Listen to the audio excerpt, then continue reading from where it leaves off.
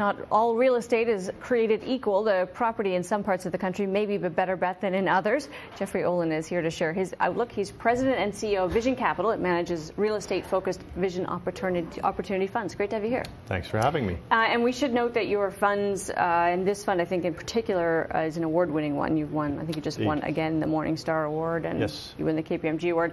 Describe the, the focus of it uh, and to what extent it's entirely real estate driven. We are focused on real estate, but on publicly traded real estate. So our team has a lot of direct real estate ownership, management, development experience, but our funds are focused on publicly traded real estate, long and short, so we can take advantage of situations we think are going to decline in value. and we can and do take concentrated positions in our best ideas. So give us uh, your snapshot of the Canadian market right now. Um, some people saying, you know, less than terrific economic growth projections going forward. Surely that should be pushing back on REITs and uh, real estate prices. I think the context of your question is particularly relevant. What kind of real estate, where, and what type of entity you're investing in. So we have a concentration of our portfolio in Alberta. Uh, in the last year, you had 165,000 people population growth in Alberta. To put that in context, that's more than Ontario, which has over three and a half times as many people. We are invested primarily in rental residential. You have 1% vacancy rates in Calgary and Edmonton, together with the population growth, and a lot of that is immigration, migration, and those people tend to live in apartments, and there's no rent controls there.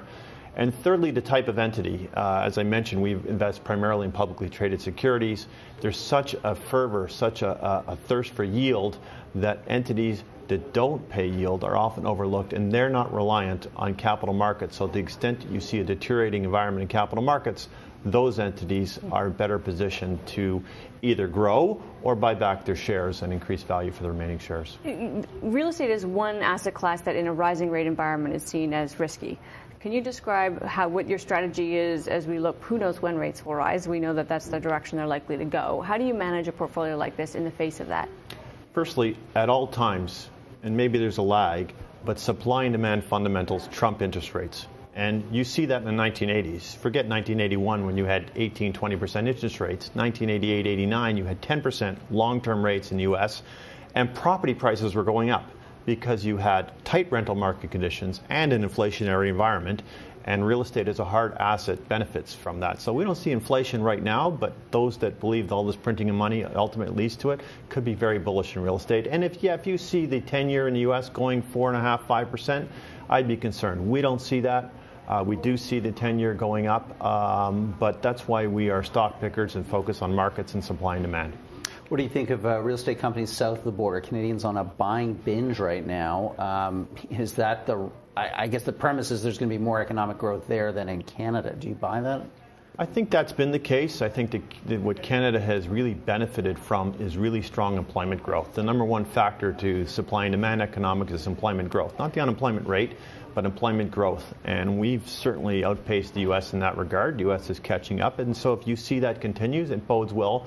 And we can and do invest in the United States, and we've increased our investment there. You mentioned that you're long short, uh, so you would be then short a publicly traded vehicle. What, when, what do you decide? What's kind of the tipping point to decide something is overvalued in that way? Two primary things. One is the supply and demand fundamentals, yeah. and secondly is valuation.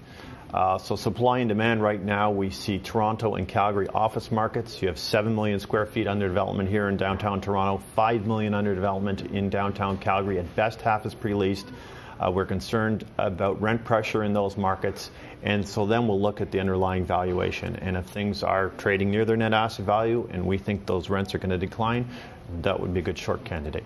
I know it's not exactly your area of expertise, but you're thinking real estate all the time. So put on your big picture hat and tell me what do you think about the condo market here in Toronto and cities like Vancouver? I mean, people are speculating. In Montreal. We're in bubble territory. you know, do you buy that? Do you think that's a, uh, let me deal with these quickly. Toronto I was premature on that. I've been calling for correction for five years, so he's either wrong or premature for the first two years. I've been right for the last three years. Prices are coming down. They have come down. They will come down. Developers are lying. Prices are coming down. Uh, to me, any market that had 80% of buyers being non-owner occupied, uh, where they're going to rent them out maybe five years ago, you got some positive net rental spread. Last three years, there's been none.